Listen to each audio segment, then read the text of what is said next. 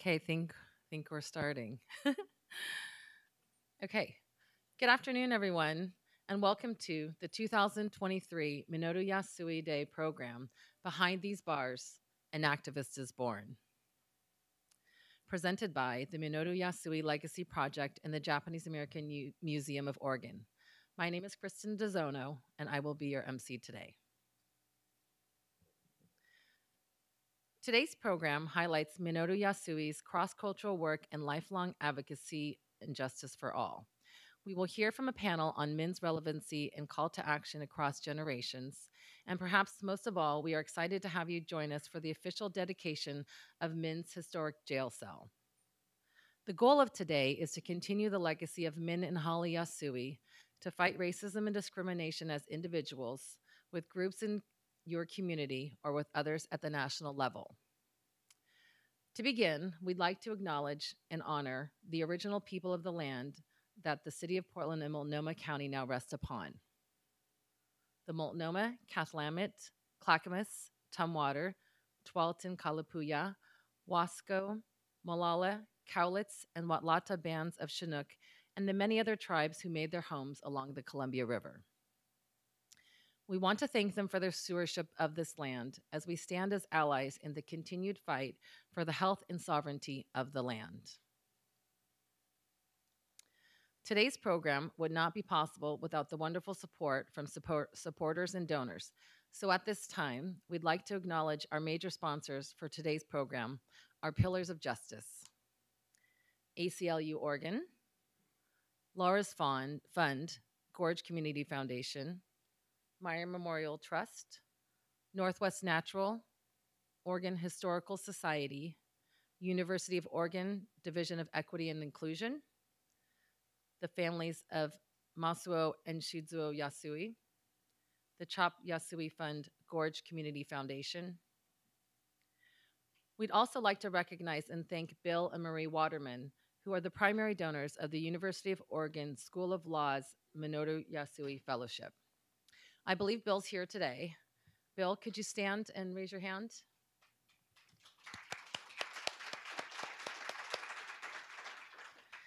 We also have past and present Minoru Yasui Fellows joining us as well. Weston Koyama, Gabriel Naganuma, and Anna Rutan.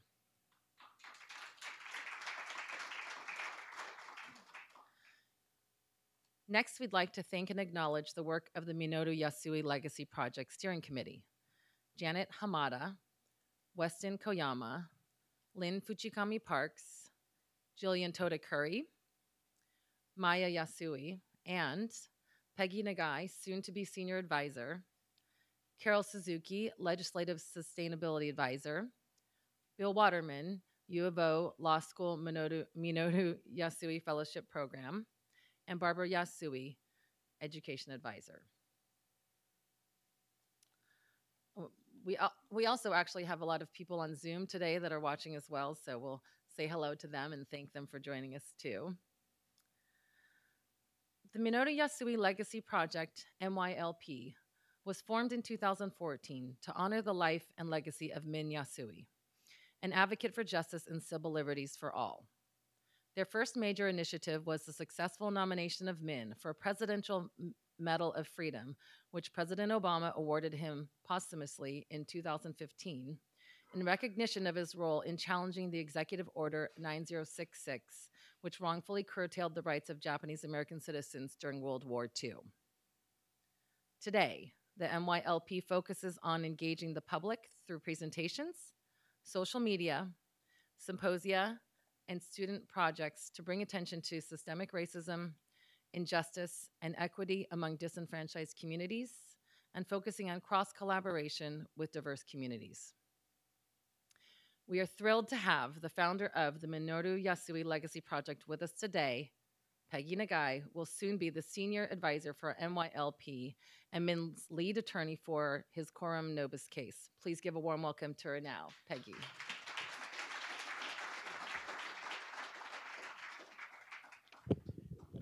Thank you, Kristen. See if I can get this right. I'm supposed to speak right in front of it. Okay, so my deep gratitude for Holly for suggesting we start the Min Yasui Legacy Project and focus on two initial uh, projects the Presidential Medal of Freedom and the documentary video that she did. I'm really grateful for our innumerable, in depth, and energetic conversations that we've had, we had over the years. Special thanks to Maya Yasui, who, who can't be with us today because she had a knee operation, so she's streaming in. and Lynn Fujigami Parks and Chris Ling for our work this year. It was monumental work. Uh, and also to Jillian Toda Curry, uh, Cynthia Bassi, Logan Pernard, Veda Yama for, for evolving the Min Yasui student contest. And hopefully you have somebody that will be interested in the contest. It's an, it's an art contest that Jillian will talk about in just a minute. And my deep appreciation to past MYLP stalwarts, June Schumann, who's in the audience, Kimberly McCullough, Jessica Asai, who you'll be hearing from, uh, Lessing, Mark Takiguchi, Jennifer Fang, Kyler Wong, Fiona Larson Teskey, and Alan Zhao. So they have worked, they worked for a couple years and um, great to work with them. Min and Holly fought hard and sacrificed much for justice and equality. To them, patriotism meant speaking out against a plethora of laws that ex exclude, shut down, or further restrict our rights. In recent years, the examples abound. 400 anti trans bills have been introduced in 44 states. 24 states banned abortions in the first six months after the Supreme Court overturned Roe v. Wade. 32 states have introduced at least 150 restrictive voting bills. In 2022, 44 states introduced bills or took steps that restricted teaching critical race theory, and they don't even teach critical race theory, uh, or limited how teachers discuss racism and sexism. That trend is continuing in 2023. This week, Florida's governor banned an approved advanced placement course on African American studies. Why are these restrictions so prolific? Some say that since the 1960s, white fear and resentment toward African Americans has been fanned and over time broadened to target Hispanic, Latinx, Asian Americans, Native Hawaiians, Pacific Islanders, and other BIPOC folks. And what's the goal? Some would say that ensuring a normative hierarchy with whiteness at the top. This goal has been increasingly open, visible, and explicit. Even with these dismal statistics, the rising tide of anti democratic sentiment, fears of an oligarchy taking over, we can learn from Min's example and act from our own. Deeply rooted integrity, principles, and values believing in the Constitution, taking the responsibility of citizenship seriously, and committing to leave the world a better place. Our willingness, yours and mine, to transform racial violence and injustice by nonviolence and decisive action externally and during, doing our own spiritual work internally. In short, to do what is right regardless of the personal cost. Ultimately, and when our work draws to an end, we will not be judged by the results we attained, but by the quality of the struggle we maintained. Here's to all of us and to maintaining our high, high, quality, if I can say it, high quality, deeply rooted, spirit driven, and life affirming struggle. Thank you.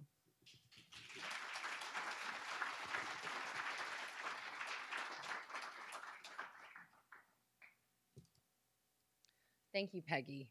And thank you for your ongoing efforts to keep Min's legacy alive and for your continued work with the Minoru Yasui Legacy Project. We we honor Min's sister, Yuka Yasui Fujikura, and his only surviving sibling, Homer Yasui, respectively, as they served as honorary co chairs of the MYLP. I, am going to wave to Homer if he's watching because he used to give me mushrooming tips for matsutake hunting. We also recognize and honor the other co founder of the MYLP, Min's daughter, Holly Yasui. Following in her father's footsteps, she spent her life fighting for justice and equality. Sadly, we lost her to COVID in 2021. Here to share more about Holly is the talented Chisao Hara, creative director of the Japanese American Museum of Oregon.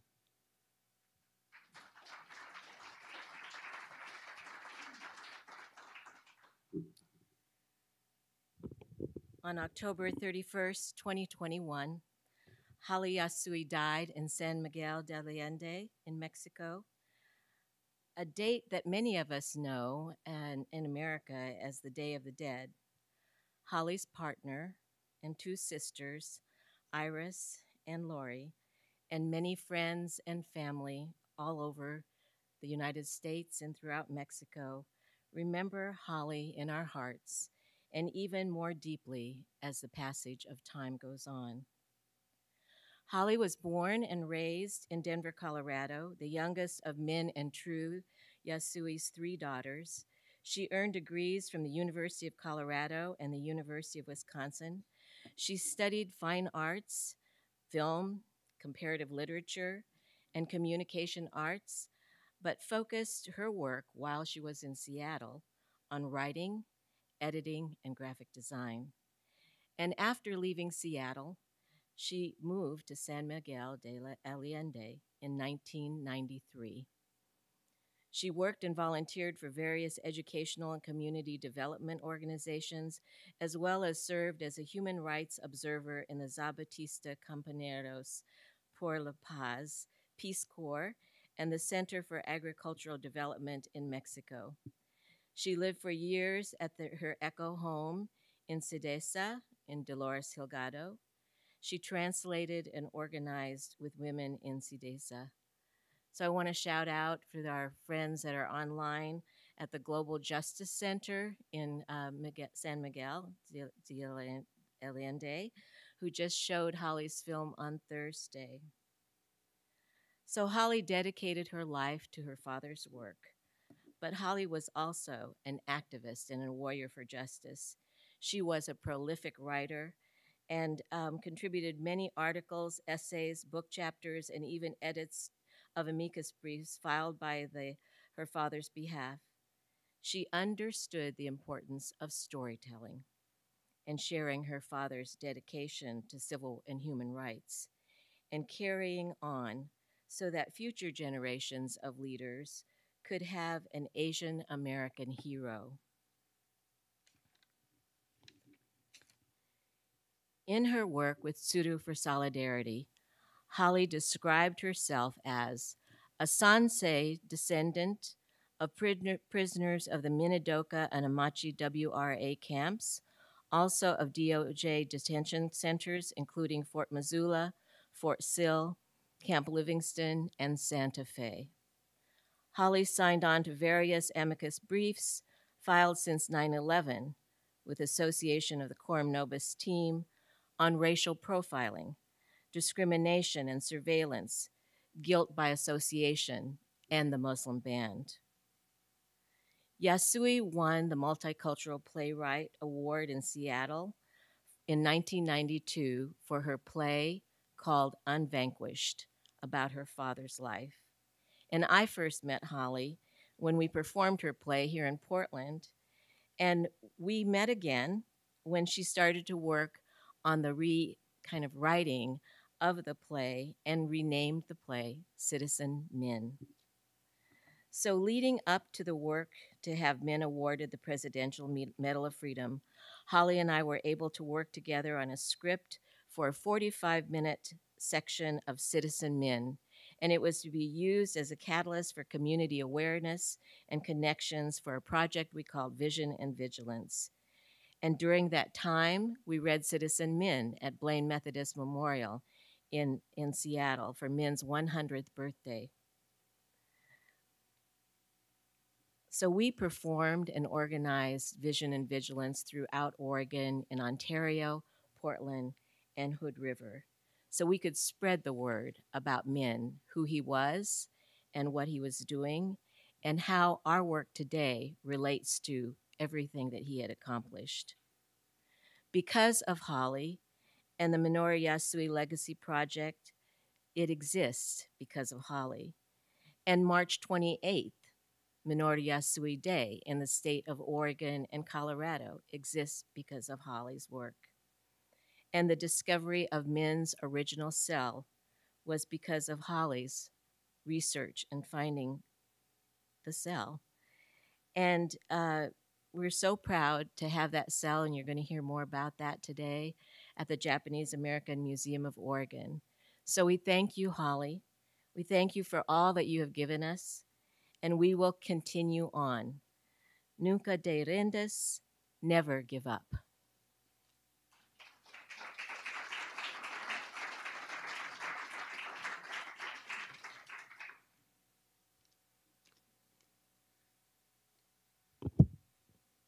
Thank you, Chisao.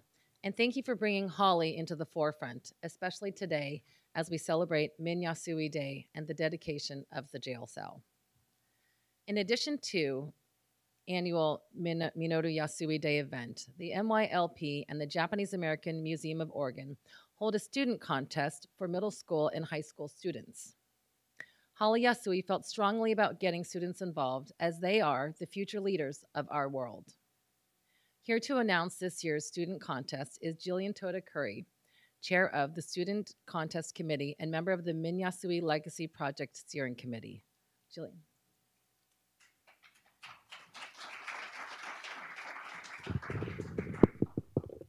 Good afternoon, everyone.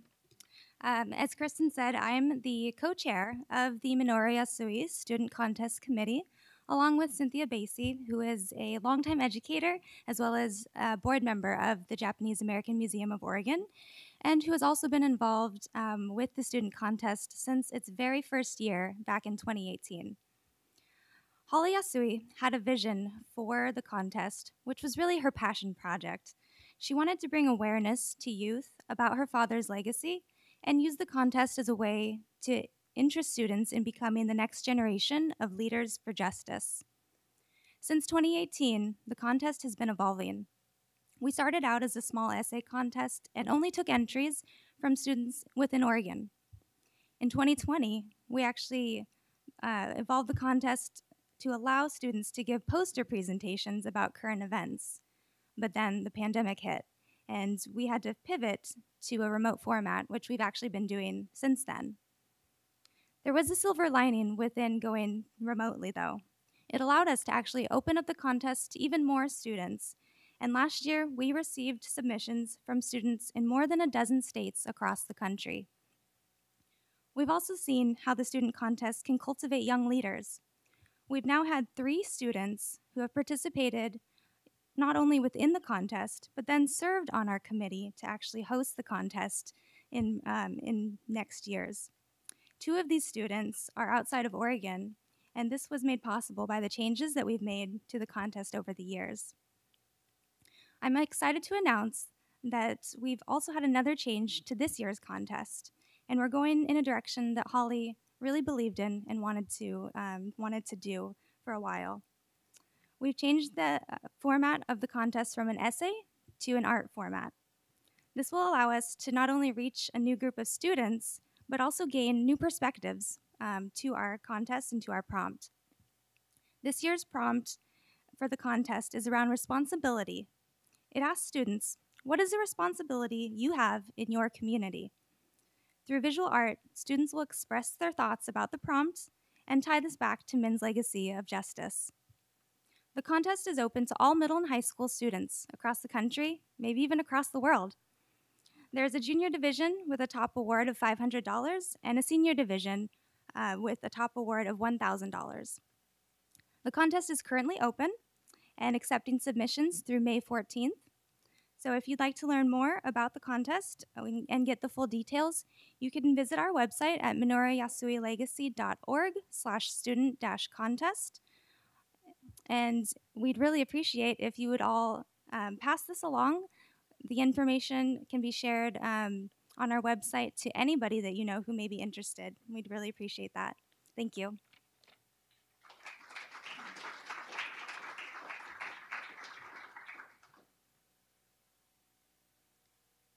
Thank you, Jillian, and thank you.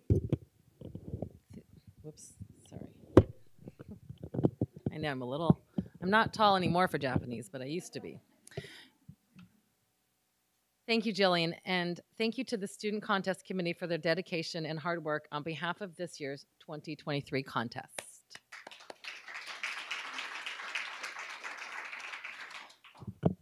Many know about Min's history and storied past here in Oregon, but many are unaware of his life work as a Colorado attorney and community relations director addressing injustice across all populations.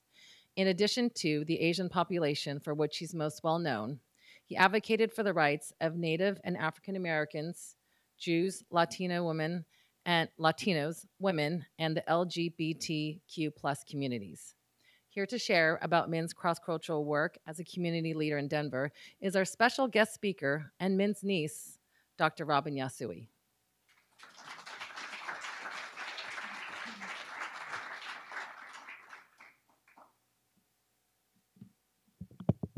I want to thank you for having me here um, in your beautiful, sunny.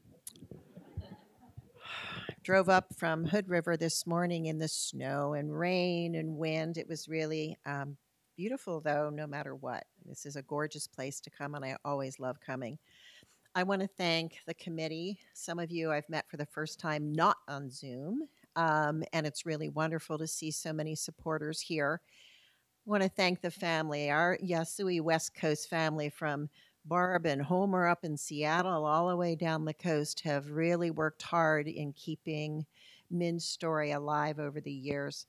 Um, most of all, I want to thank you all for remembering Holly and the role she played. This was her life's work, and I know how much um, these celebrations, these contests, um, all meant to her. And the fact that you're keeping it going, you're keeping Holly going. Min died in 1986. So why the heck are we still talking about him? Because now more than ever, you heard Peggy. His life's lessons, his legacy have relevance and they need, the story needs retold. The players in the story may change but the principles for which Min fought throughout his life are exactly the same. Human rights, civil rights, social justice, they're not just for a few, but they're for everyone who calls this country home. He never saw his battle for Japanese American injustice as just a Japanese American issue. Rather, he attacked that as a constitutional issue, a breach of American law that affects all of us. He was moved to action by the very simple belief that basic human rights are inalienable and they deserve equal protection regardless of race or creed or national origin. Min left that jail cell in Multnomah County for the barbed wire imprisonment of Minidoka internment camp. And when he was finally offered release from that hellish place, he delayed his departure. Instead, he stayed on a little longer to help other internees, other prisoners, organize their next steps as they faced release into a hostile America and all the legal challenges that would await them. Finally, Min did leave and he headed to Denver, where much of the family had resettled but his past came with him. And in spite of scoring the highest scores that year on the Colorado bar exam, he was denied a license to practice law in Colorado because of his past arrest and conviction Once again, Min fought, this time challenging the Colorado Supreme Court to obtain the right to practice law. Another battle fought, another battle won, and Min was ready to get into action. The 1940s, they saw the birth of the civil rights mo- movement, and Min, of course, was in the thick of it. Various mayors in Denver and community leaders recognized the passion of this young lawyer and recruited him to start serving on several advisory councils and committees for the city. It eventually took him to the helm of the city's Commission on Community Relations and Human Rights. Who better than a man who had been villainized, arrested, and imprisoned on a human rights issue? Min did some of his most important work on that commission, focusing not only on civil rights, but also on developing service for marginalized communities the elderly, the disabled, youth, and ex offenders. He worked for decades with the Denver Public Schools, pushing tirelessly for education equity and opportunity for minority students. And he dedicated himself to improving community relationships between law enforcement and communities of color. And all this sounds frustratingly familiar to us today. Min's work consumed his energy, but it also fed his energy. He, were, he had the role of executive director for the commission. He was a founding father and officer in the Urban League of Colorado, fighting for economic and social justice for the African American community. He worked on the establishment of LARASA, the Latin American Research and Service Agency for Colorado, and he developed the Denver Native Americans United. He was chairman of the board for Employ X, a program that helped ex offenders reintegrate into society. And he also worked in partnership, very close partnership with the Anti Defamation League, and served on the Denver's Interfaith Forum and the Mayor's Task Force on Refugee Affairs. All this while continuing to play a pivotal role in both local and national Japanese American Citizens League, endlessly working towards the issue of redress for the constitutional injustices of World War II. You see a theme here? A, a theme in this man's life?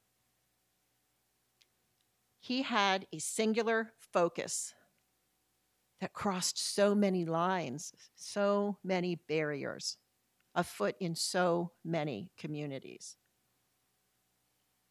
In addition to all those fancy titles, my cousins used to tell stories of him driving them to school, showing up at their plays, their school activities, making a mean dish of sukiyaki, and hiking throughout the beautiful Colorado mountains with his three beloved daughters. He called his daughters his garden Holly, Laurel, and Iris. But he also served as a Boy Scout leader and published a Japanese American newspaper out of the family's basement with a hand cranked printer that Holly said she often was in charge of. His wife, Auntie True, also noted that Min served on as many as 75 committees and boards while working for the city of Denver. Talk about making you feel like a slacker when you live in Denver and try to do some of the kind of work that Min did. But his work also extended past Colorado. He spent years on the U.S. Commission on Civil Rights and as a member of the International Human Rights Association. Min has been honored by the city of Denver with a legal inn of court in his name and a government building in his name. There's also a bust of Min in downtown Denver and a community volunteer award that memorializes his legendary volunteerism during his 40 years of work for our city. But he knew he wasn't a one man show. Rather, he was very much inspired and invigorated by other civil and human rights advocates throughout Denver's diverse communities. And today we bandy around the terms equity, diversity, inclusivity. But those who fought for those ideals in the 40s, 50s, 60s, and 70s did so risking life and limb. Min worked alongside those community heroes, fighting for access to good schools, safe neighborhoods, for decent paying jobs and opportunity. They were fighting for the American dream. Denied to some, clearly deserved by all. When the country erupted with fiery street riots in the 1960s, particularly after the assassination of Martin Luther King Jr., Min was side by side with the community leaders in Denver, in the streets of Denver, helping calm the crowds, negotiating between police and protesters, helping Denver avoid the explosion of violent protests that rocked so many other major American cities. Literally, he was walking the walk. Whether black, American Indian, Muslim, Asian, Latino, we've all had the experience of being the other. Sadly, we share a familiarity with each other's scarred history. History forms us, and it also informs us, but it's nothing more than a dusty book on the shelves unless we act on the lessons learned and use it to mold a better future. Sometimes history asks us to take a stand that demands great personal sacrifice, forcing us into the spotlight of controversy, knowingly heading towards scorn and rejection. But it's the brave few who do so in spite of the consequences. And Min did just that. Martin Luther King said, the ultimate measure of a man is not where he stands in moments of comfort and convenience, but where he stands in times of challenge and controversy. Min stood up in the 1940s for the Japanese immigrants and Japanese Americans, but he also stood up in the 1940s through the 1980s for the people of Colorado, for the people of Denver during times of challenge and controversy. We remember on this wonderful Min Yasui Day that these battles are not done, and we must never stop fighting the good fight. We stand on the shoulder of men and women like Min Yasui, and we remember them. But Min would be rolling his eyes if all we did was honor his memory without action. He would admonish us to not just remember his contribution, but to get out there ourselves and make change happen. Min did just that, and that's why 37 years later, we're still talking about him. Author Ursula Le Guin said, It doesn't take a thousand men to open a door, but it may to keep it open. Min and so many others fought hard to push open closed doors. Let's help keep them open and perhaps push open a few more. Thank you.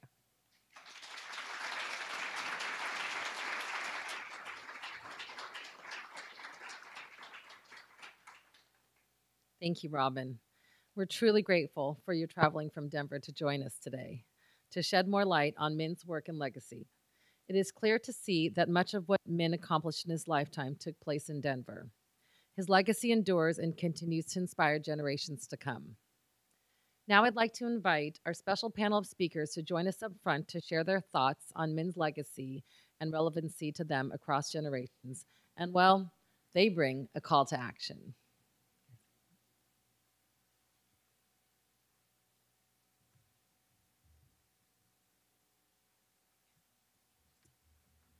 Our first panelist, Jessica Asai, is a Yonsei, fourth generation Japanese American, raised in Hood River, Oregon, Since 2010, she has used her law degree to address civil rights compliance at Oregon Health and Science University, where she conducts internal civil rights investigations and provides advice and training on civil rights, equity, and Title IX issues.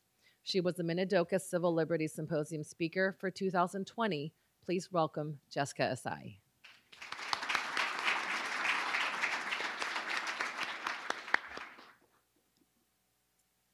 Hello, and thank you for having me here today. Um, the remarks I'm sharing are my own. I just want to clarify that. They don't belong to my employer. They're not endorsed by my employer, employer necessarily. Um, I do find that there's a lot we can learn from Min and his fight for justice, lessons that are important for me and any social justice or civil rights advocate, and lessons that we can turn into action. The first is conviction. During World War II, the US government took a series of actions after Pearl Harbor the targeted people of Japanese ancestry, including thousands of American born citizens. And to put it in context, if you think about it, if I was alive in 1941, 1942, I would have been rounded up and incarcerated, and many of the people in this room would be too. Even though I was born here in the United States, actually, I was born in Portland, Oregon. Um, and so when that happened, that included the rounding up and arrest of Japanese business leaders, such as Min's father, Masuo, a curfew, the freezing of assets, and as I mentioned, the eventual incarceration. Within, and that was within an exclusion zone that included most of Oregon, but not part of Eastern Oregon. And their crime was only being Japanese. There was no due process, no notice or right to be heard to respond to the crimes that they were accused of. And Min believe deeply in America and the values that our country is supposed to stand for, including democracy, and the right to be free from judgment on the basis of race, color, or ethnicity. So on March 28, 1942, at age 25, he walked out into the Portland night in defiance of the curfew so that he would be arrested. And that led to his imprisonment and his challenge to how our government was treating him, his family, and his community. His strong belief, his conviction in what was right and just, is what led him to risk his own freedom so he could prove the government's actions were wrong. And this highlights a second lesson perseverance. He held onto those ideals and that truth for over 40 years, from his arrest in 1942 to 1983 when he filed a coram nobis petition to vacate his wrongful conviction. The writ of coram nobis is a legal tool that allows a court to vacate a judgment when new evidence is found. In Min's case, a researcher found evidence in the 1980s that the government lied and there was no basis for the curfew against Japanese or the incarceration of them. And that led to a court vacating his judgment in 1984. But even then, he was not satisfied because the court had not ruled on his allegations of government misconduct. And he fought that battle until he died in 1986. And then his legal team continued the fight for him. So he persevered until the end of his life. And it was because he believed in the rule of law and civil rights that he fought for so long to make things right and he didn't do that for glory or fame. He did it because it was the right thing to do, as, uh, as you've heard many people attest to today. And I think the lesson, another lesson there is something to consider is that the fact that the Coram Nobis writ exists, even if seldom used, speaks to the fallibility of our American justice system. It's a formal acknowledgement that our system of justice isn't perfect, that our government isn't perfect, and creates a mechanism to right a wrong. Min knew this and kept fighting. He persevered, and his pursuit highlights that justice may not arrive quickly, but that shouldn't stop us from fighting for the right result. Another lesson I think you can take away from Min is the importance of being an ally, as we heard Dr. Yasui discuss earlier. A few years back, I was asked to assist a team of people who were creating a nomination packet to nominate Min for the Presidential Medal of Freedom. And my role in that project was to read through letter upon letter of from individuals and organizations who supported Min who also thought he deserved this medal, which, if you're not aware, is our nation's highest civilian honor, and he did receive from President Barack Obama posthumously. I think, you know, I didn't know much about Min, honestly, other than kind of his legal background as an attorney. My family grew up with his family. Um, he passed away when I was very young. I never knew him. Um, but what I learned from those letters was his allyship, his bridge building, and his cross cultural work. And through his fight for his justice, he stood up for the promise that our nation says we give to everyone equality under the law, And that conviction informed not just his own fight for justice, but to lead the civil liberties and human rights work that Dr. Yasui talked about in Denver. And that was for everyone, not just Japanese Americans or Asians. And so for decades, he played a key role in Denver's social fabric to ensure other marginalized people were not likewise forgotten in the promise of America. And he was an ally decades before that term became popular because he saw that justice for some did not equal justice for all, that what can be done to the least of us could be done to all of us. And so he worked to ensure others had a seat at the table rather than simply being on the menu.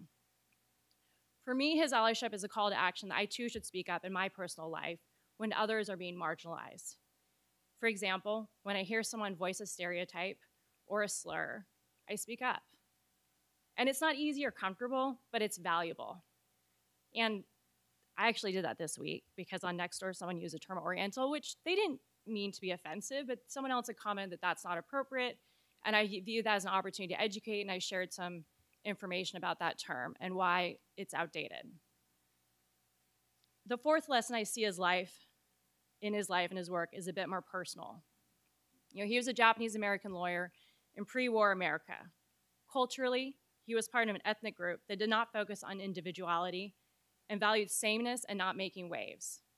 This is most obvious in the Japanese proverb, the nail that sticks out gets hammered down. And he was a lawyer, which, in my humble opinion, is a profession that often values sameness and conformity. One can only imagine that it was even more homogeneous in the late 1930s when he became the first Japanese American licensed to practice law in Oregon.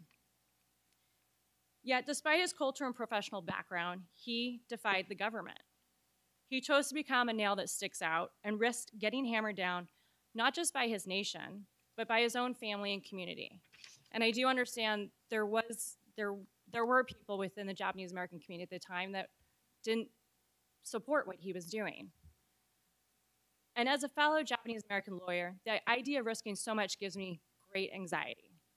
So for those that know me, they know I'm not a mousy person, and I'm much more outspoken than most of my family. At the same time, I understand speaking truth to power, as Min did, means taking a risk that you will not be well received or understood by people who have the ability to hammer you down. And so when he risked his freedom, there was no way for him to know what might come of his actions. All he knew was that he was making that one ripple in history, and I think that is something we can all learn from, that taking a risk can have the power to change so much. Um, thank you for letting me speak. And I especially want to thank the Yasui family, especially Holly, for letting me share Min's legacy with others, and um, which I've done a few times, and I, I very much appreciate the ability to share that information with others. Thank you.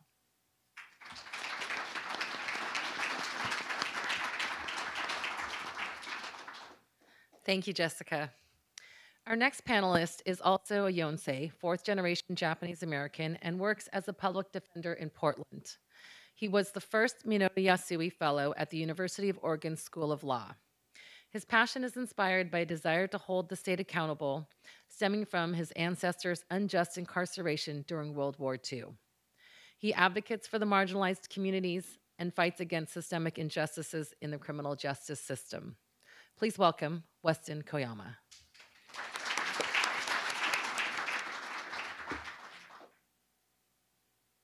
Ladies and gentlemen, distinguished guests, and fellow advocates for justice, thank you for joining us today as we gather to celebrate the life and legacy of Minoru Yasui, a trailblazing civil rights leader who fought tirelessly against racism and prejudice. As a public defender in Oregon, I'm honored to stand before you and reflect on the profound impact of Mr. Yasui's work. You know, I'm struck by Mr. Yasui's words that we owe our progenitors a duty to leave society a better place after we depart this world. In paraphrasing Mr. Yasui, I want to resist the temptation here to make Mr. Yasui into some sort of prophet or saint. I think it's important to acknowledge that Mr. Yasui was a human being like you and me. And I think that if we succumb to the temptation to believe that the injustices of the world can only be challenged and corrected by the proverbial giants of history, we do a serious harm to Mr. Yasui's legacy. we should acknowledge that what makes Mr. Yasui extraordinary is his plain spoken humility, coupled with a determination to never give up. That capacity, that capacity exists within us all, a capacity for courage. And if that capacity does not exist within all people, if it is true that we must rely on the giants of history to solve all our problems, then I'd put it to you that Mr. Yasui's nine months in solitary confinement were in vain. And uh, I believe it was referenced earlier, he did spend nine months in solitary confinement after his arrest. Um, you know, I, I won't bore you with all the science. I can tell you that every public defender I know is well aware of the scientific literature that confirms that solitary confinement destroys the human psyche. It's a form of torture. And we're rightfully inspired by Mr. Yasui's resilience um, and his uh, willingness to continue to fight the evils of racism and bigotry despite that torture. But we should not think that our personal struggles are any less worthy of praise. We all fight our own battles to stand up and speak out against injustice in society. And at times we fall short too. Take my great grandfather, Kei Koyama. He immigrated to Portland in 1915, and the FBI arrested him on the day of the attack of Pearl Harbor, 1941, December 7, 1941, because of his leadership standing in the community. And under FBI interrogation and the not so subtle threat of never seeing his family again, he did name names and undoubtedly made the lives of some of his community members more difficult. Should I believe myself of inferior lineage because my ancestors succumbed to the government's threats? I don't think so. We can and we should celebrate Mr. Yasui for his courage without losing sight of the fact that courage manifests itself in different ways.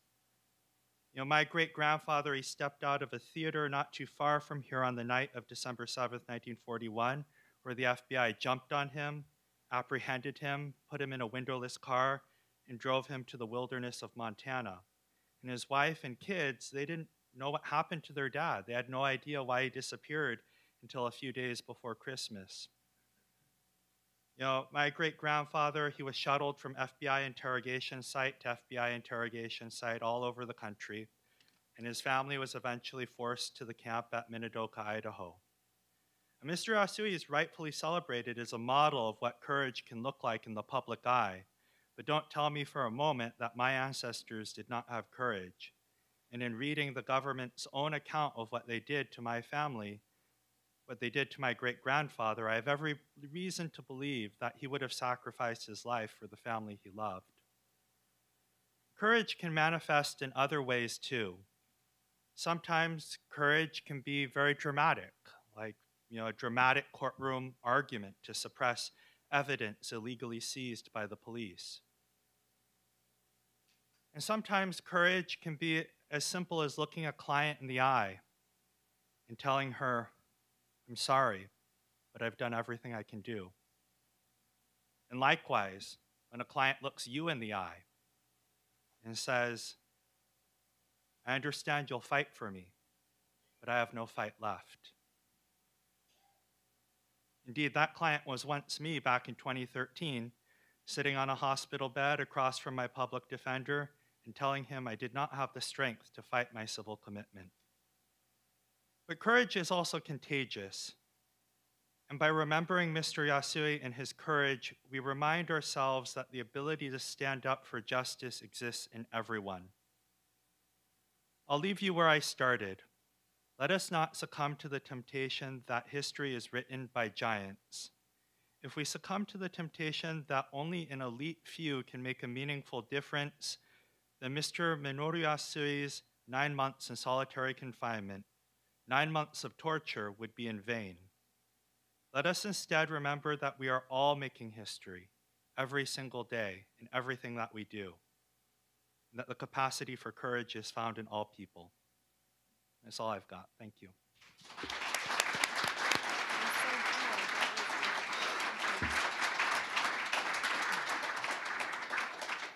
Thank you, Weston. The third and final panelist is a second year law student at the University of Oregon Law School and also a recipient of the Minoru Yasui Fellowship. Born and raised by a Japanese immigrant mother in Oregon, she is passionate about the issues of cultural competency and minority representation and is planning to pursue a legal career accordingly. Please welcome Anna Rutan.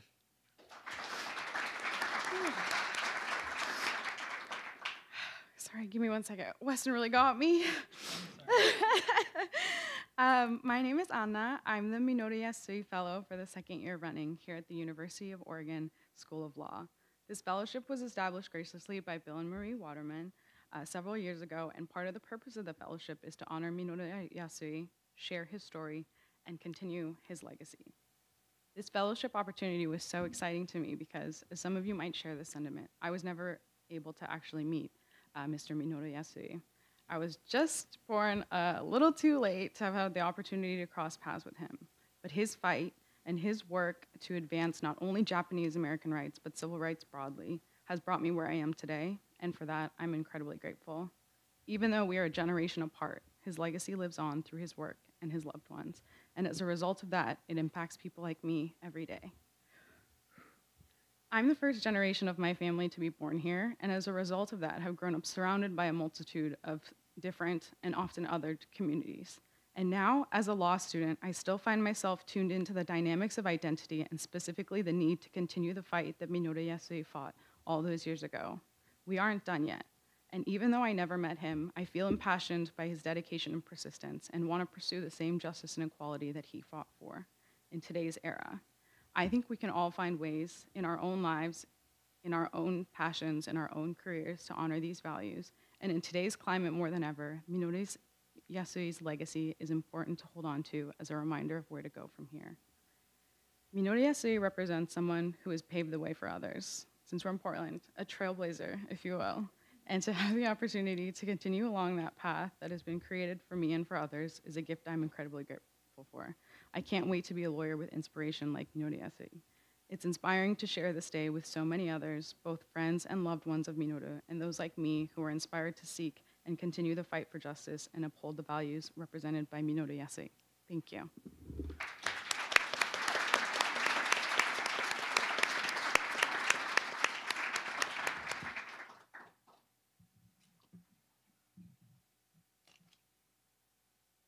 Thank you, Anna. I believe we have time for a few questions for the panelists. So Lynn has a microphone if anybody has a question.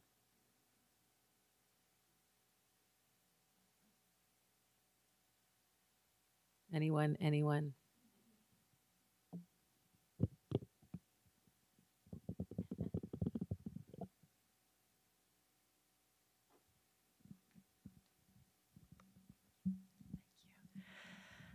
Thank you guys so much. You don't know how proud that man would be of you. Um, the University of Oregon, in general, has meant so much to all of us who care about Min's story because they keep the principles alive. And you guys are all representing that.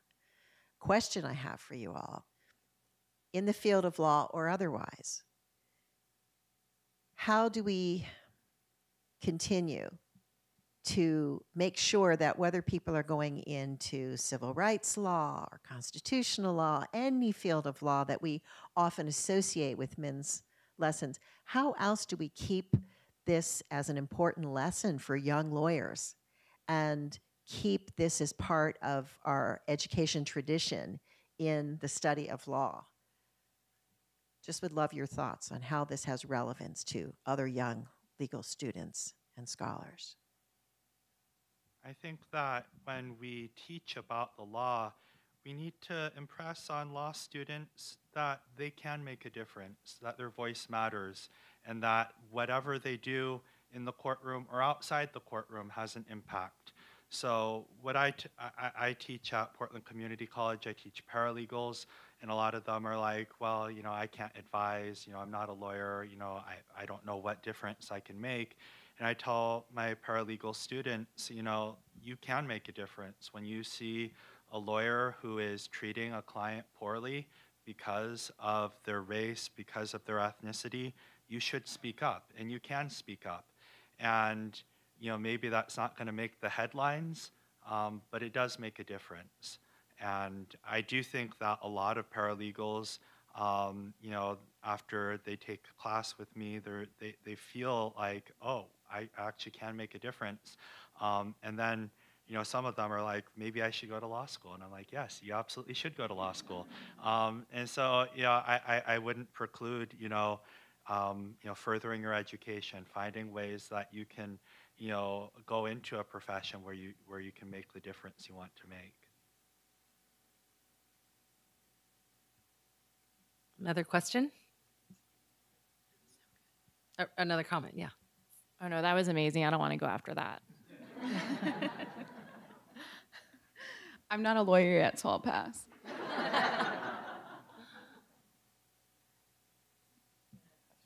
If anyone has a th- thought to share or question, Yes, thank you. So much. There's one over there. There's a hand. got a couple now. Hi, thank you so much. Um, I'm a retired anthropologist. I taught at Lewis and Clark, and I taught a course called The Anthropology of Violence. Um, and in that course, I spent maybe two weeks on the internment camp experience in the Pacific War. I'm a Japan anthropologist, and I focus on um, issues of gender and inequality in Japan, specifically the occupation of Okinawa by both Japan and the United States. Um, so that course was very important in introducing to students um, at Lewis and Clark about what happened here um, in the United States with Japanese Americans, because a lot of students, and this is over the past 20 years, really didn't know. They didn't have the education in schools. So it was important that they were introduced to that. Um, unfortunately, the institution did not allow me to teach a standalone course on it, which I had developed at Earlham College before I came to Lewis and Clark. Um, and the reason why I developed that course is when I was in the archives of the library at Earlham College, um, I discovered that 24 students from the camps were invited to go to Earlham. I see that some of you know that. Um, and were able to get their education at Earlham College rather than spend those four years in the camps. Um, and from that information, I decided to create this course. And so I had to study about the internment camp myself because I'm Japanese. My mother's Japanese, like uh, like Anna's mom, but I was born in Japan and then raised here.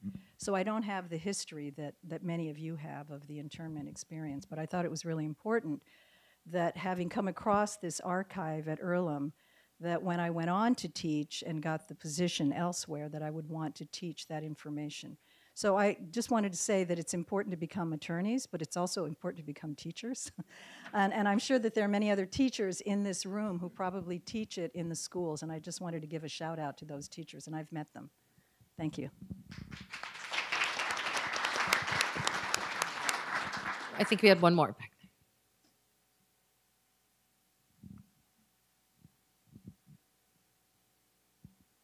Oh, thank you.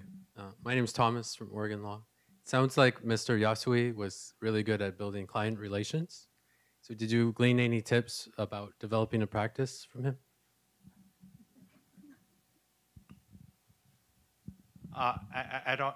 I, I think I'm the only panelist here who deals with individual people clients. Uh, you work for OHSU, so um, i guess I'll speak to that a little bit. Um, I would say that meeting clients where they're at is probably the most important lesson that I can derive from Min Yasui in my day-to-day work. My clients come from so many different backgrounds, so many different educational levels, and are really struggling. And sometimes I think one of the challenges I face in my work is you know, I'll be meeting with a client. We don't see eye to eye per se, um, and you know, there's only so much I can do for any given client. Um, and you know, that client can be difficult. You know, they can attack me. They can attack me for any number of reasons, including because of who I am. And um, that may seem odd to some people in the room, but in fact, you know, I, I would put it to you that our criminal justice system is currently formulated is unimaginably coercive and unimaginably uh, oppressive and unimaginably arbitrary.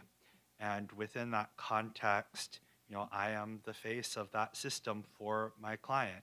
Um, so it's understandable that they lash out at me. And, you know, not taking it personally and meeting that client where they're at and saying, I'm sorry, you know, I'm, I'm on your side. I try to do everything I can to get the best result we can. And understanding that they have a history of trauma, a history that I will never be able to understand 100%, um, and just respecting where we're at with that. Um, but, you know, when, when you're working with clients, you're always trying to meet the client where they're at um, and understand that they're coming at it from a very different place, um, often informed by extraordinary trauma.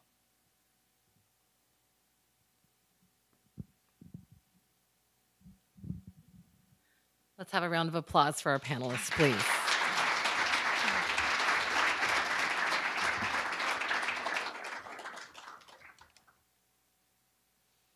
Okay. Now that we've heard about Min's generational relevancy and calls to action, we've come to Behind These Bars, the long awaited official dedication of Minoru Yasui's jail cell. A four year project plus another delay of a year and a half for this dedication. We are here to share the story behind these bars, the remarkable journey of the actual jail cell where Min spent nine months in solitary confinement and its discovery and relocation to the Japanese American Museum of Oregon. And it all began with a single idea. Here and now, what one might consider ground zero is the person whose idea set everything in motion the Honorable Nan Waller, Multnomah County Circuit Court Judge and recipient of the 27th Annual William H. Rehnquist Award for Judicial Excellence. Please welcome the Honorable Nan Waller.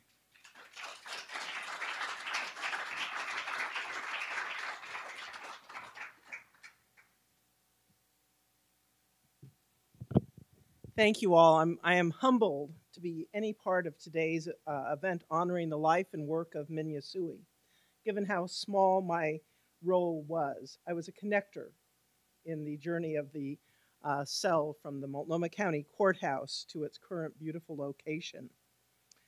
It really all started in 2016 when Peggy Nagai uh, came to the annual judicial conference and presented um, on Min Yasui's life. And her presentation was called uh, Lessons from Yasui versus United States The Critical Role of Judges to Ensure Justice. I have been a circuit court judge for many years. I'm a fifth generation Oregonian.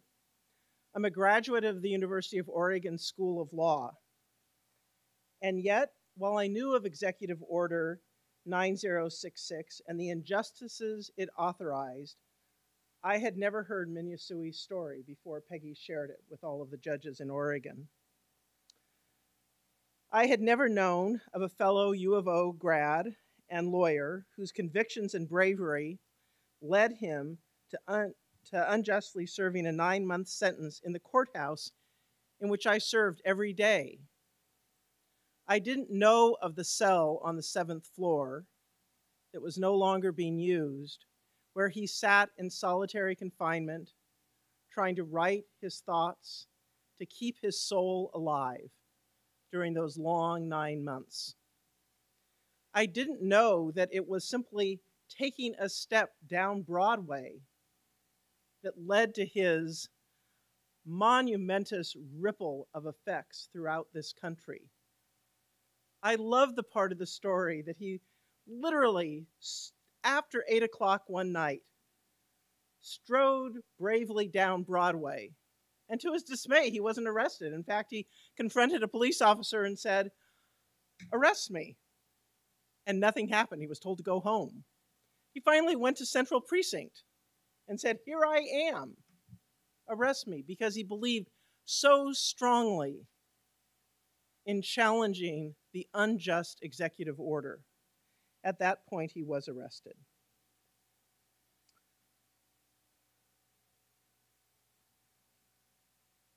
I did not know until Peggy awakened me how the rule of law that I have great confidence and trust in, although it is challenged at times, had absolutely failed Min Yasui. I did not know of his lifelong commitment to right that wrong um, and of his unbending conviction to never allow such a terrible injustice that undermined the principles of our democracy to happen again. And I am so grateful to have been here today because I got to hear the Denver part of his story. So thank you. Since that day, I have tried very hard to educate myself. I had the privilege of getting to know George um, Nakata. We brought him to the courthouse where he talked about uh, his internment with uh, the Yasui family at Camp Min- Minidoka. I got to go out to lunch with him, and he showed me the award that he'd gotten from Japan and shared the story of what happened so many years ago. I realized that there were so many cross connections with Min Yasui that I'd never recognized. And this morning, I thought, oh my goodness, I have my father's University of Oregon yearbooks.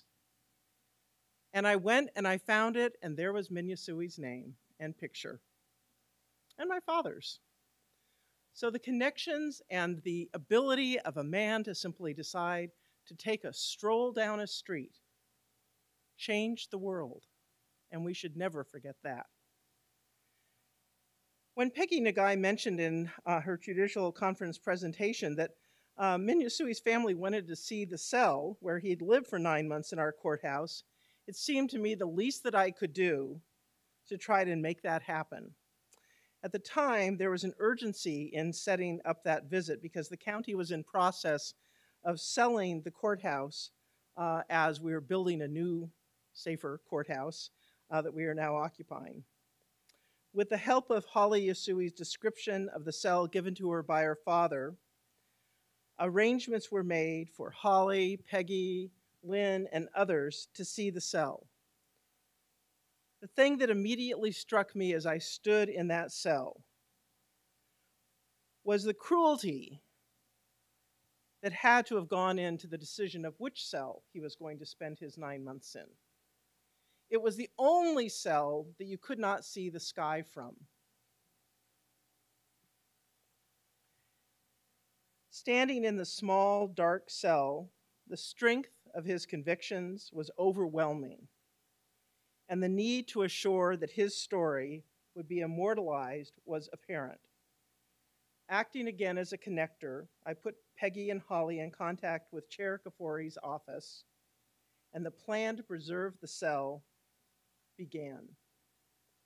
I am very grateful today to be here as a judge and as an Oregonian and as a University of Oregon graduate to be able to express my gratitude for the work done to assure that Min Yasui's story will never be lost. Given all of the events of recent years, con its continuing relevance is powerful and it is necessary reminder of the fallibility of the justice system if we are not vigilant. As an Oregonian, I'm grateful that we have a day dedicated to remember and acknowledging Min Yasui and his story. As a University of Oregon graduate, I want to thank the university, the Watermans, the Yasui Fellows for your dedication to carrying Min Yasui's legacy forward. It is imperative that we, none of us ever forget the story and that we carry it on generation to generation in Oregon and in every other state. Your commitment of everyone in this room to uh, continuing uh, this work uh, will assure that it is never forgotten. As a judge, the story of Min Yasui has made a great deal of difference to me in how I view the world, in how I view our community, and how I view Southwest Broadway when I walk down it, and I think of that simple act of walking down the street and what the impact was. So I want to thank everyone who made it possible. I, I, had the great opportunity to meet some of the Yasui family last spring um, when the cell was in the museum, and it is beautiful. And to see the Medal of Freedom hanging in it is remarkable. You had a remarkable family member. Your family were so gracious and welcoming. And I thank all of you for carrying this on. I, I hope that we will all continue to spread the word and that I hope uh, that when this comes around that each person in this room will tell 20 other people and that we will have a, a convention center full of people listening. I would hope that we would have the expo center where uh, I went out to look at the expo center after listening to George describe the smells and the look of what was out there. And I realized I'd never seen, despite going out there for plant sales and other things, I'd never seen the arches with all of the tags, each representing an individual. I'd never listened to the beautiful song of all of those tags tinkling together.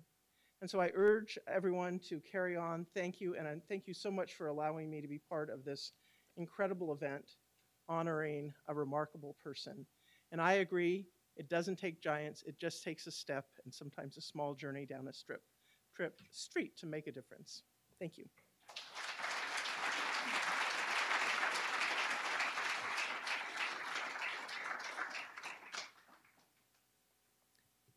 I, I love the comment, um, Judge Waller, when you said that you were just a connector. But I think being a connector is so key, just like standing up when you hear a wrongdoing or, or standing up uh, and being a voice. Um, I remember in 9 11 when the Muslim community was really nervous and scared, and they were looking to the Japanese American community about their fears. And, and I just think we have to be connectors for each other and support each other.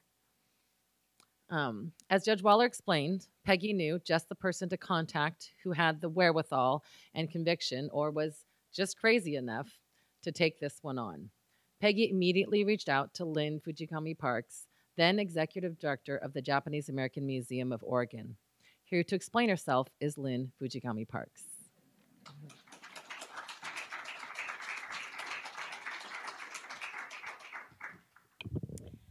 Um, thank you. Thank you, Kristen. And um, good afternoon, everyone. And I do just want to, oh my gosh, thank um, all of the participants today. I've just been so moved and inspired by your words and what you've shared. So just want to give everybody another round of applause. So when when Peggy reached out with Nan's idea to save the cell from what certainly was going to be demolition, um, it really was a no brainer. I immediately agreed and said yes. Um, of course, we would take this on. Um, and yes, somewhere I heard that part of this discussion was who's crazy enough to take this on. Um, so that's where the explaining ourself part comes in because um, I was basically saying yes to something that we had no idea how to actually execute. And furthermore, we had no place to move the cell to at the time because we hadn't yet found a location for the new museum. Um, but minor details, right? Um, needless to say, I did have some explaining to do uh, to sell this idea to our board. Um, but luckily, they all felt, um, as I did, uh, that this was something we just absolutely had to do. Say yes and then figure out a way to do it and how to pay for it. Um, if nothing else, we could always store it in Connie's uh, garage. So, for for those of you who don't know who Connie Masuoka is, she is our fearless leader. She's the president of our board of directors.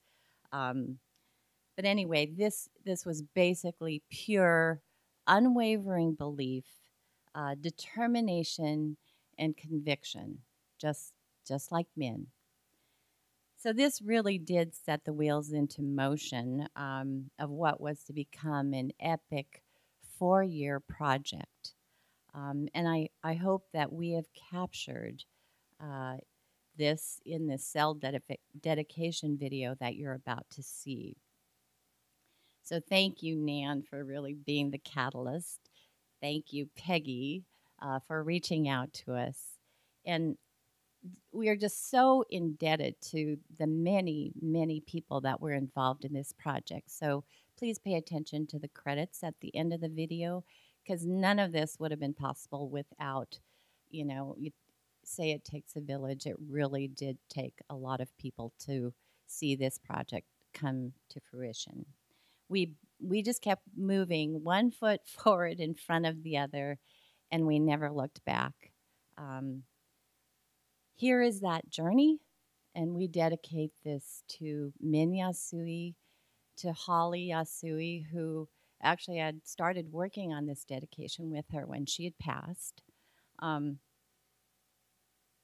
and to um, Min's brother Homer Yasui. Homer, I know you're with us today and watching. Um, so I just wanted to say hello. We miss you. Um, and we dedicate this as well to you. Thank you so much. And I hope you enjoy this, this dedication video.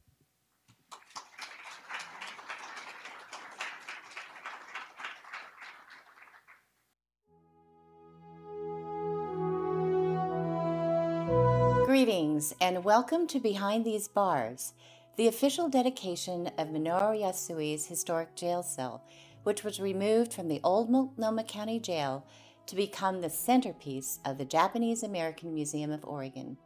My name is Lynn Fujikami Parks, and I'm the retired executive director of the museum. We are here today to dedicate the jail cell in honor of Minoru Yasui and his daughter Holly Yasui. Together, they have left a legacy as fearless champions in the fight for equality and justice, never missing an opportunity to speak out to defend civil rights and to advance social justice. The Cell memorializes and pays tribute to the extraordinary man behind these bars. This is the actual jail cell that held Minoru Yasui in solitary confinement for nine months as he purposely violated the military curfew imposed on people of Japanese ancestry to test its constitutionality. Its very existence would never have been known had it not been for Holly discovering its location through her father's detailed writings and interviews. Min's prolific writing included his thoughts and poetry that he wrote during his incarceration and will be shared throughout this program as enacted by Heath Hune. Interminable night. It's 9:30 now, and thus commences our night. The long and endless interminable night. Within this hopeless place of the condemned and the damned. All in! The bellowed command of screws on their rounds reverberate hollowly through prison corridors with a steel throated rumble and the metallic smash of steel on steel, iron barred gates slam shut on clanging cell doors. The lights dim out. New fish in the tanks, fresh from the streets, still bewildered and resentful are reluctant to sleep. Old time jailbirds in blankets complacently wrapped are fitfully seeking rest in filthy canvas lined bunks. There's desultory talk, speculations as to what the sentence will be, conjecture of how best to beat the rap, lamentations loud in injured tones of being framed on, on a damn dirty deal. According to the talk, how innocent we all are. There are intermittent sounds. Sound of shoes dropping to the floor, sound of flaring tempers, a, a short, vicious fight, obscene jokes, some indecent stories, big winded braggery, ribald laughter, lurid profanities, loud bursts of argument, all the mumble and grumble of imprisoned men. God damn it, dummy up! The kangaroo judge angrily yells to his darkened court. Conversations lag. The muttering talk dies down, and soon the nerve rasping rattle of ungodly snores, occasionally the explosive boom of a sneeze, strangled coughing, restless talking, a hoarse, noisy whisper, a, a defiant curse. These are the sounds in the night of a hundred lost men who are locked in a cage and are going to sleep. The hours drag on slowly. A far off clock strikes the midnight hour. Sudden, there's the piercing shriek of a conscious, tortured wretch, protesting and screaming in soul anguished remorse. What awe shaking ghosts haunting him tonight? Seeming eons later, the maddening gibberish, the shuddering groans, wildly undulates from the madmen thrown in the hole.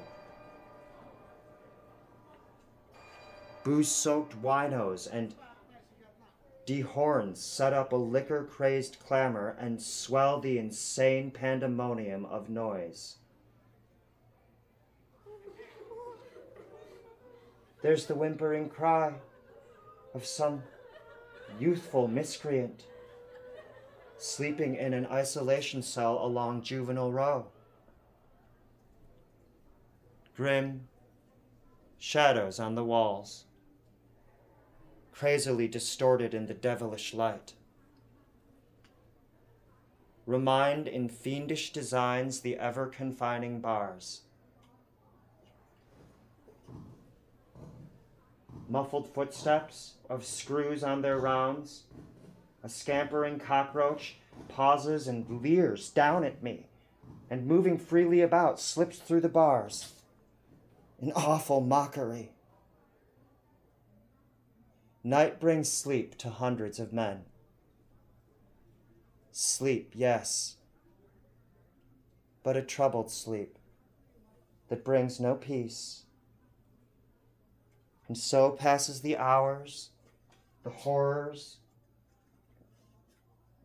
the night in this hopeless place of the condemned and the damned.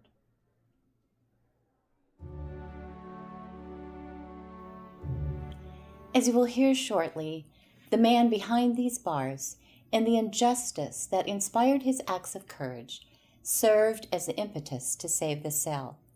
It all began with the Honorable Nan Waller, at that time presiding judge of Multnomah County Circuit Court, who had the idea to preserve the cell. Inspired by Min's legacy, she knew that the building that housed the courthouse and jail was going up for sale. She reached out to share the idea with Peggy Nagai, Min's lead attorney for his Coram Nobis case, wondering whom to contact to take on such an endeavor. Here to share more on Min's life and what the jail cell represents is Peggy Nagai. Recently, I spoke to junior history classes at Aragon High School in San Mateo, California. Students asked questions about World War II, Min Yasui's case, redress, and the relevancy today of what happened over 80 years ago. Their questions were insightful and thought provoking. I answered with the best that I could give them and with my invitation and edict about their role and responsibility in furthering justice and building a multiracial, inclusive democracy in the U.S., a true democracy that we have yet to experience. This jail cell represents what one person did to stand up for constitutional rights. It represents the willingness to put both personal liberty and professional achievement on the line and that one person made a difference for 120,000 others, as well as for all Americans, by stepping forward and intentionally violating a federal law and telling the government it was wrong. This cell also is a physical representation of the very best of the U.S., where people take their citizenship responsibilities seriously and believe that it is up to each of us to speak up and not to say that someone else can do that, or I'm not strong enough, or I'm fearful of what might happen. Minoru Yasui said that what is done to the least of us can be done to all of us. I knew we had to protest it. And the it he was referring to was the curfew imposed upon Japanese Americans that violated their due process rights. If it was done to Japanese Americans, it could be done to any other group as well. This cell stands as a monument to the action that we must take, especially at this time where anti Asian hate is rampant, where books about race or sexual orientation are outright stolen from libraries and banned in schools, where speech about LGBTQ issues in classrooms is illegal, where reproductive rights are no longer the law of the land, where voting rights are in even more jeopardy, where transgender children are refused care for their gender enhancing surgeries, or African American reparations is stalled. We must say no to the trampling of civil rights and to turning democracy into an oligarchy, authoritarian government, or apartheid. People can come to JAMO and see the cell, sit in it, hear Yasui's words, and experience the confinement that Min experienced over 80 years ago. This cell makes the historical and ethereal relevant and tangible. And it is also a place where people can learn that Min Yasui's legacy is greater than the experience in this cell, his case against the curfew, and his work in Oregon.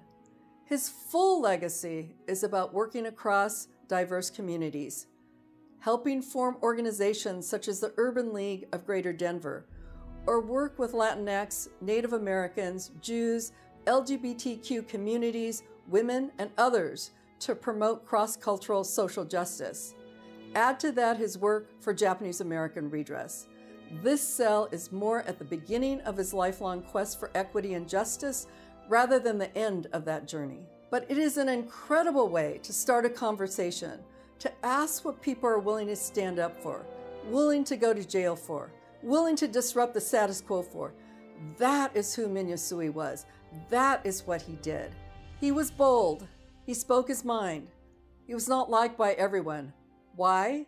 Because he was bold, spoke his mind, and was willing to do what's right, regardless of the personal cost, from a culture that is oftentimes quiet, sometimes worried about what other people think about us, and don't want to make waves or stand up because the nail that sticks up gets hammered down. Yasui and this cell stand for the very best of what we can do as Japanese Americans, from our lived experiences of incarceration and or the intergenerational trauma from our relatives' incarceration. We can be at the forefront of speaking out for ourselves and others. This is the importance of Min's jail cell and his legacy. Thank you, Peggy. The decision to save the cell was easy, but the execution of it was not. Answering Peggy's call led to a four year monumental project to extract, relocate, reconstruct, and preserve what has become one of the museum's most priceless artifacts. Every step of the way, obstacles and challenges had to be overcome. The right people at the right time had to coalesce one might even say the stars had to align. Beginning with support from the Multnomah County Commissioners, the cell was donated to us and excluded for the eventual sale of the courthouse, with a caveat that new owners would be required to work with us for the extraction of the cell. Preservation architects and engineers, led by architect developer and museum board member Brian Kimura, were consulted to advise on the process as well as determine whether the floor of the new museum would structurally support the weight of the steel. Layers of lead paint had to be stripped from the bars, and the cell had to be carefully deconstructed. Only one company in the whole city had the wherewithal and capacity to do the actual extraction and move, and might I add, this was all being done as the country shut down due to the pandemic. Once the cell arrived at the new museum, the work began to put the steel cell back together in space that, mind you, consisted only of drywall.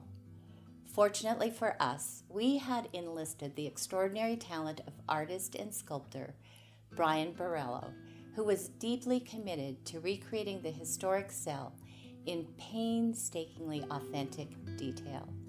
Here to share this process is the artist himself, Brian Borrello.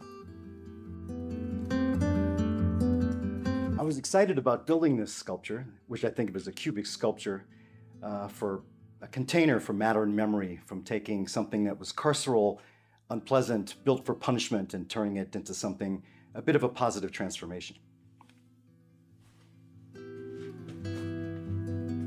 I was invited to participate in this project by architect Brian Kimura, uh, who I think found my uh, business model fluid enough to get in and out to do the extraction, help with the extraction uh, and the construction on a pretty short timeline. Uh, I was doing global pandemic. Uh, there was some challenges with construction crews, mostly working at night uh, after the crews went home. And um, the initial phase was uh, assessing the material, preparing it for the fitting and the welding. Uh, had to build a superstructure uh, because it basically was a plywall and stud uh, construction. Um, so uh, what you'll find is that there's uh, uh, stamps that indicate that this was Carnegie Steel Mills, probably came from the East Coast, probably came from Pittsburgh, probably came by rail and then was transported to the courthouse to the seventh floor um, via horseback and then manual labor to get it up there. So we had to cut it into sections and fit it into a seven foot uh, freight elevator.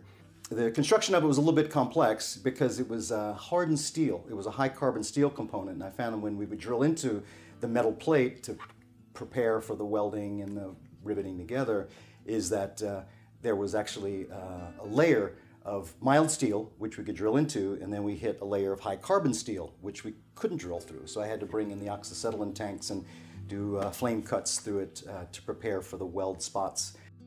So what I strove for was to try to recreate the cell and recreate the texture and the final finish uh, to really kind of evoke that sense of something that was about incarceration and punishment. And when you stepped into it, you really got the sense of what maybe uh, Yasui-san felt when he was in there the claustrophobia, the dread, the boredom, uh, all those feelings that you could maybe evoke, that would maybe be evoked in a visitor to the cell itself, right? And that's kind of what, what kind of got me to this concept I was trying to formulate, which where it straddles artifact and art, because in and of itself, it's a significant cultural artifact, an object, you know, a man-made object, right? But where it starts to go towards the realm of art is where art is meant to express an idea or something of beauty or some emotional uh, power. And I really felt like as I was building this or recreating this that uh, that there really was something artistic being done. That this is, you know, like I said, it was kind of a, I thought of it as like a minimal cubic sculpture uh, that was going to be a container for matter and memory. And uh, I feel like as it straddles this art and uh, artifact uh, idea, uh, the art comes in when it evokes this powerful emotion. And I think of it as that, you know, when the public goes in, there's an element of shared experience. And I think that's what art does. And then to be able to share that over time and through maybe even generations to share the experience of, of uh, Mr. Yasui. So I feel this is a monument to true heroism, to true principled action, and also a testimony to the Japanese American experience that was that time in the 40s, but also represents maybe the way that we can address injustices and systemic injustices that people are still feeling today, people that are undervalued or marginalized, and how we can make that change. Thank you, Brian. We are truly grateful and in awe of the amazing work you did. You were indeed the perfect steward for this task. Visitors are now able to stand in the middle of the cell, view Min's Presidential Medal of Freedom, and hear audio of his voice, sharing what it was like to be incarcerated there. It is a powerful artifact that literally speaks to you. Artifacts like this have the power to eternally connect past, present, and future generations. Here to share his thoughts about the dedication and the power of the physical experience of the cell is Min's only surviving sibling, Homer Yasui. I'm, I think that's a great thing that they're going to do uh, because here you have a three dimensional object, which is not a thing of beauty, but says something to make people wonder and think, say, hey, this guy and this guy happened to be my brother Minoru, spent nine months in solitary confinement behind these very, very, very same bars. He walked back and forth in this cell, counting the steps to one, one wall to the other. He sat on this hard bench for days on end. He wondered for the first six weeks whenever they're going to let him get a haircut or cut his fingernails. And I think of all the times he must have sit there writing innumerable letters. Eventually, he got a typewriter. And fortunately, I have a pack rat sister named Yuka who saved all these letters from me. So we have many, many letters that Min wrote in jail, plus his doggerel, his uh, poetry, if you want. Not great poetry, but uh, it, it's, it's interesting because it reflects his feelings while he was sitting there in jail, wondering what am I going to get out of here? So I think this is a graphic, three-dimensional object people can relate to. The go inside there, hold on to the bars, say, my God, imagine you're only 26 years old, you're in here for something that was not wrong. It was against the law, but it was not wrong. It was an unjust law. That's what I think. Oh, yes. I think that they should reflect upon why this young man was in his jail find out why. Uh, they'll, they'll know who it was, maybe, but unless they know why he was in j- this jail, it wouldn't have the same effect, I don't think. Well, I think it's, it's important because the history and the experience, life experiences of the Nikkei in the United States is not very well known, even by our own Nikkei community member. A lot of them don't know much about the history. They may not be interested either, but I think it's important that these things be preserved so that years down the line they can come there and say, "Oh my goodness, this is what it was like living like my day, my day, and before my days, my my father, my uncle Rennie's these days, what it was like. How tough it must have been. How different it must have been." So reflect upon where they came from. I think is very important to understand that they, the people who have come from different land have still the same desires and hopes that you do. It's very same thing. It may be manifested a little bit differently. It addresses different. The food is different, but in the end, the desires are all the same. Oh, like I said, I want to leave them the the history of our people, not not, not just me, but I mean. Uh, when I say our people, I mean people of Japanese ancestry who came to the United States, you know, beginning with my father's age around 1900. And all the difficulties and the vicissitudes and the troubles and the problems they faced and how it took so many years to, like my father comes to this in 1903, great land of freedom, you know. He didn't have a great land of freedom until 1953 when he got his naturalization paper, and that was the culmination of his efforts to become American citizen. Barbara, he applied for American citizenship in 1943. In 1943, he was in an internment camp, and yet this guy wanted to be an American citizen so badly. While he's in an American internment camp, he applied for American citizenship. You know, that's unbelievable. But in 1952, the Walter McCarran Act was passed, and so for many, many, many Issei, like my father and my mother, they were finally allowed to become American citizens, and that made them so happy because this is a lifetime working for something like this, and they made it. Oh, oh they do. Too many people take for granted. They, they think it's nothing. But not if you were my father or my mother or my uncle say, hey, you work a whole lifetime for that, and it's, it's well worth it. Thank you so much, Homer. We honor you today as well, along with your beloved wife, Mickey, as founders of our museum and organization. We owe you a debt of gratitude for paving the way and being an inspiration to us throughout the years. And as Homer spoke of the power of experiencing the cell, you are now about to hear music composed using actual sounds from the cell. This truly is the sound of history. Please welcome Julian and Amelia from No No Boy.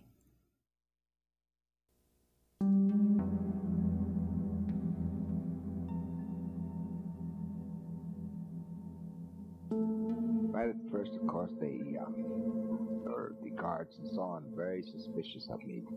When we go out to court, they would make sure to handcuff me, which is all right, handcuff me in front, not in back. Go up from the county jail, it's just a block and a half to court. So we had to go down the elevator, out into the street, walk a block, go up into the court, and go into the courtroom. Before you go in the courtroom, there's an anteroom, so they take off your your handcuffs. They put a chain around your waist. And they lead you. They put shackles on my feet so I couldn't run. But you go clank, clank, clank, clank, clank, clank.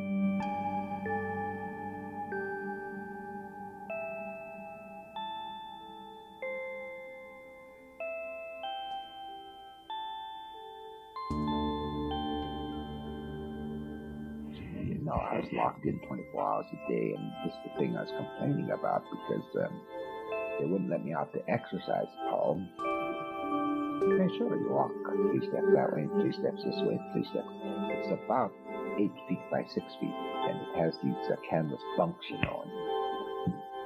I guess they gave me a blanket. There's a potty in there, and that's all. So all you can do is they used to give us four slices of bread, and a potato. No, it's four slices of bread and year old oatmeal mush. That's for breakfast. Sometimes they had prunes. Uh, it was a treat when they had prunes. And then for lunch, they'd give you a boiled potato or four slices of bread. Starch, all starch. You know, I, I lost weight because the first week or so I didn't eat that crap. It was crud. Pretty soon you get so hungry you will eat it. But if you don't eat the potato, they'll chop it up and make it into something else. And eventually, well, it'll keep sustain life. But the Olivers used to come in oh, about once a month or so and bring Chinese food. Boy, I to really enjoy that. Of course, reading materials they gave me too because the Olivers would bring it in.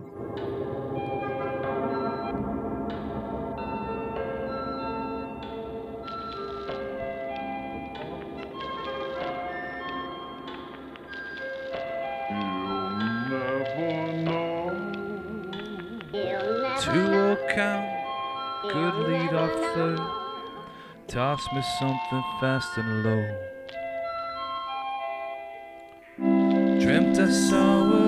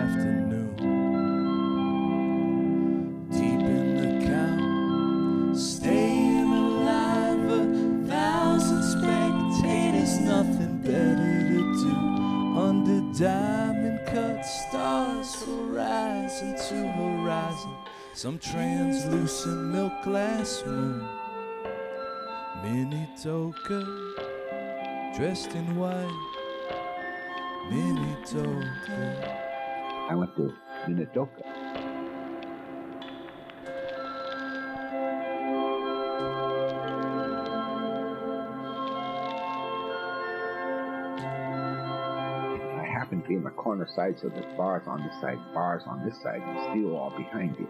It's two steel walls, steel wall on the top and concrete floor on the bottom. You can't see outside at all. Uh, there are windows down below, so there's light in there. But it's a naked bulb hanging above your cell.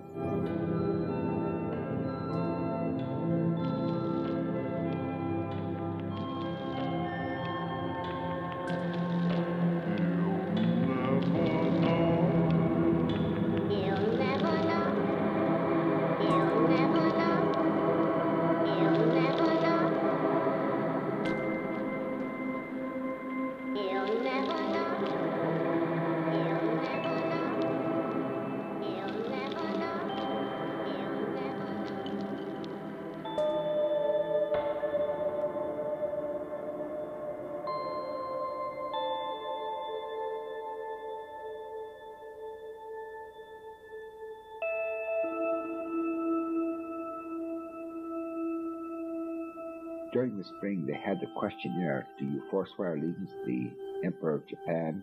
And will you serve in the United States Armed Forces? And many of the kids were answering no, no.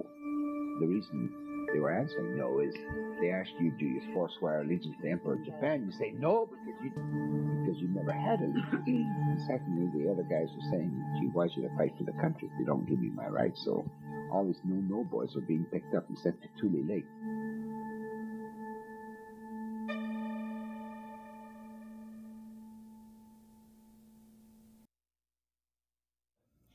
Thank you, Amelia and Julian.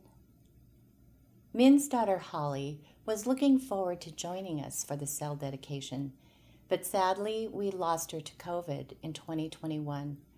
We are devastated by this loss, and here to pay tribute to Holly is Chisao Hata, creative director of the Japanese American Museum of Oregon. A poem for Holly. On the dawn of El Dia de los Muertos, the ancient ones greeted you. We place ofrendas of golden flor de muertos, incenso, and white chrysanthemums, and osenko on your altar. We stood back and watched the smoke rise into the light of the day. Cupped in our hands, we offered mandarina and kudamono, pan and mochi, feeding our ancestors' strength to continue on the path of Hustika. We swept the ground to reveal the footsteps you walked as you led us on the road of humanity.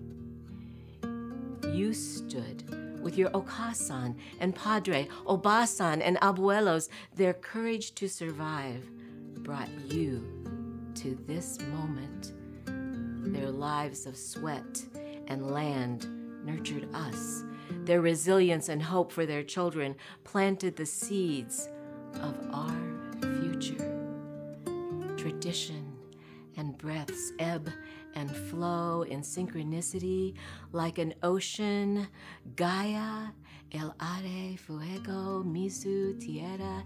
Encircling you, we stand, women, Circulo de Mujeres, dancing to the moonlight, La Luna, dancing at a bone, dancing to the beat of our open, wounded souls.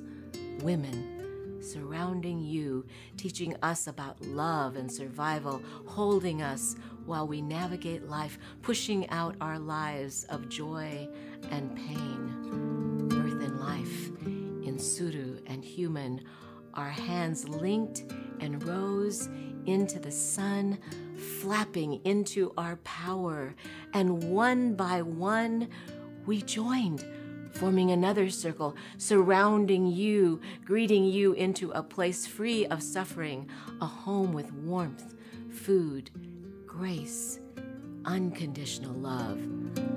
A circle of global humanity rising up, conjuring a pulsing glow, holding you above the light so you will see the glow of our eyes forever. We join you, my sister, in the solar rays, standing with ancestors, dancing in the moonlight, circling our humanity as you light the way for all child, elder, animal, plant, and beings, so we can see the path of love. So we will see the way ahead of us and beyond us. Forward Dale coraje, gambate. together, hand in hand, forward, dale coraje, Gambate. Nunca te rindas. Never give up.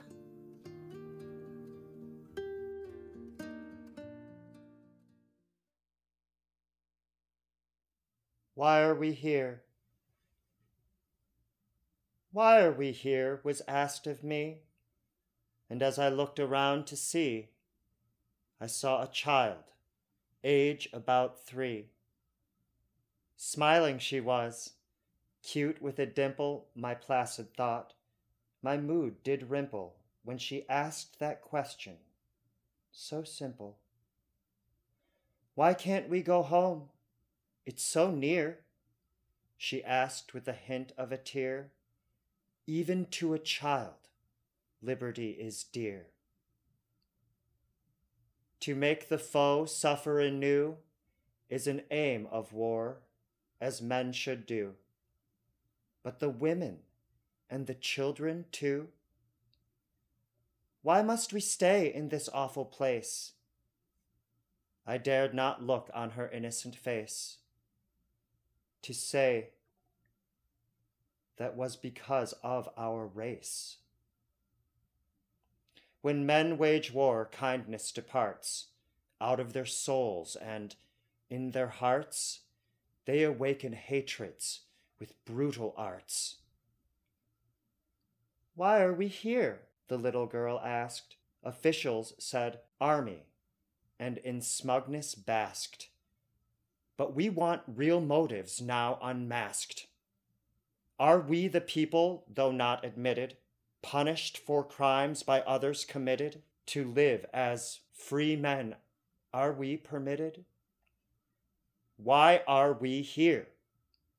Why are we alone, imprisoned through no fault of our own?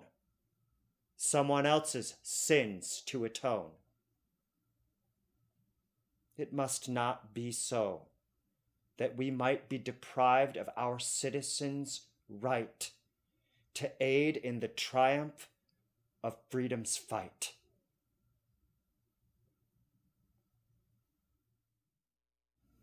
To close, I'd like to share President Barack Obama's words when he posthumously awarded MIN's Presidential Medal of Freedom to his family in 2015. Today, MIN's legacy has never, Never been, been more more important. important. It is a call to our national conscience, a reminder of our enduring obligation to be the land of the free and the home of the brave. An America worthy of his sacrifice. We dedicate this cell to Min Yasui, his daughter Holly Yasui, and their lifelong fight for justice and equality. Their life and legacies that are embodied in this cell endure to impart lasting lessons and to inspire generations to come from every background and walk of life. And to share a favorite quote from Min, we are born into this world for a purpose, and that is to make it a better place. Min and Holly have indeed done just that. We invite everyone to visit the museum to see the cell that no longer holds the prisoner, but holds his Presidential Medal of Freedom. No longer a symbol of incarceration, but a powerful artifact to remind us of Min's courage, his fight for civil and human rights, his unwavering love of country and constitution, and of his enduring spirit that could not be broken nor contained behind these bars. Thank you for joining us today.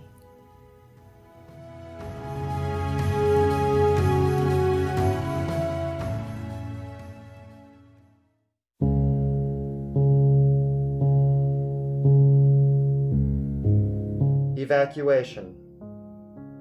America, magnificent America, with thine principles of justice, liberty, and equality trampled into the dust, with your banners of democracy tarnished with militant racial distrust.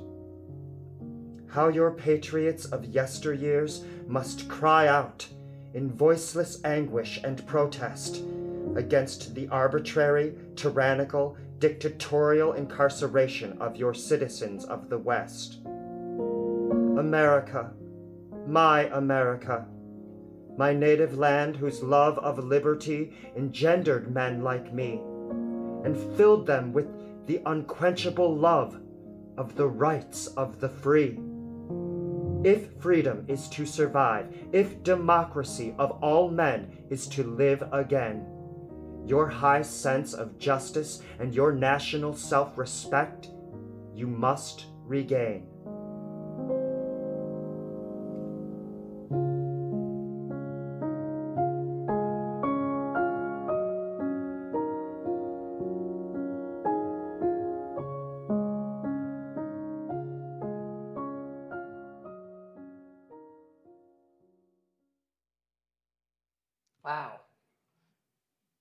Incredible journey and an amazing story. I love how the No No Boys uh, incorporate the music of the South, just as um, just as we were talking about the Shinto tags and the music that that makes too. I think that's just the beauty that can come from the sacrifice. Um, so to close, we'd like to extend our deep gratitude to our guests and speakers and panelists we thank all of you for joining us today's celebration of Min's Jail Cell. For those of you who are here in person, you're invited to the Japanese American Museum of Oregon for reception to visit Min's Jail Cell exhibit, where you'll have the opportunity to meet many of the people that uh, were featured in the video and that were instrumental in this project. The museum is just five blocks away at Northwest 4th and Flanders. There will be a complimentary reception um, although, if you think about it, we'd love to have you become uh, friends of the Japanese American Museum of Oregon, or a donation would be uh, would be wonderful too. Also, right now in the Japanese American Historical Plaza, the cherry blossoms are in full bloom. Hopefully, it's not pouring rain. Maybe you can check that out as well too, and know that that's also a project uh, that JAMO also works on as well. Um, and uh, and you know, finally, we ask you again to join us in our goal to continue the legacy of Min and Holly Yasui, to fight racism and discrimination as individuals with groups in your community or with others at the national level. Uh, right now, currently, there is a Lava Ridge um, windmill project that is kind of encroaching on the um, on the land of Minidoka right now, and I think it's uh, although although we do support sustainable sustainable energy and we think that's wonderful uh, it's very difficult for many people that spend a lot of time working to get that land preserved um, and now there are uh, very very large windmills that are, are going to be either on or very close to that property. So there is also information uh, in a flyer in the back and maybe even a couple people that can answer questions about that. Um, my, uh, yeah, I just I think just want to thank everybody for for being here. I think by being here, um, it really means something. Your support means everything to I think everybody that's been involved. Uh, what a huge four year plus year and a half journey that this cell has come to be here for. So I hope you can make it to the reception, and we'd like to thank all of you for coming.